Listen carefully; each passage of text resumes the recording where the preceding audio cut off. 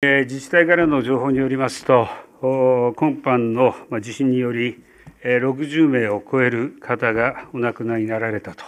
いう報告を受けております。改めてご冥福をお祈り申し上げるとともに、被災されたすべての方々にお見舞いを申し上げます。地震の発生から40時間以上が経過いたしました。被災者の救命救助、これは時間との戦いであり、これまさに今、正念場であると感じています。発災当初から自衛隊、警察、消防の緊急援助隊等の等を中心に全力を挙げて情報収集、救命救助等の活動を行っておりますが、倒壊した建物の下で救助を待っておられる方がまだ多数おられると報告を受けています。本日も各実動部隊において自衛隊の人員を1000名規模から2000名規模に増強するほか自衛隊、警察において救助犬を2倍以上に増強するなど体制の強化を行い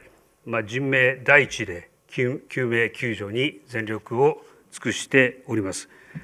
家屋やビルの倒壊現場での救助に必要な大型重機の搬入ルート確保については、寸断された道路の警戒が進んでいるほか、海上輸送ルート確立のための港湾の状態把握も進めており、一部海上ルートによる輸送を開始しております。特に道路の寸断が報告されている輪島市についても、昨日の夜を徹した作業により、中型車は通行可能とするなど、確実に復旧作業が進んでいます。すでに4トン車は通行が可能になっていると報告を受けております。まあ、引き続き大型車も含めた通行が可能になるよう作業を急ピッチで進めたいと考えております。また、避難が長期化する可能性もあり、被災者支援も極めて重要です。プッシュ型物資輸送については、関係事業者の協力のもと、食料や生活関連物資の一部が石川県の広域物資拠点に到着し、本日早朝より被災市町へ届き始めました。すでに毛布、トイレットペーパー、携帯トイレなど、順次被災被災地に発送しているところですが、引き続き避難所等、現地のニーズをきめ細かく把握し、適切な支援を行ってまいります。え、そして本日からは、被災自治体の要望を踏まえ、商務省の調整のもと、災害マネジメントの知見を有する中部ブロックの自治体職員を被災自治体に派遣することとしております。各省庁の幹部職員の指示指揮のもと、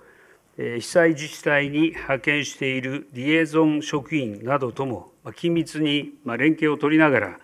ら、必要な物資の確保等に全力を尽くしてまいります。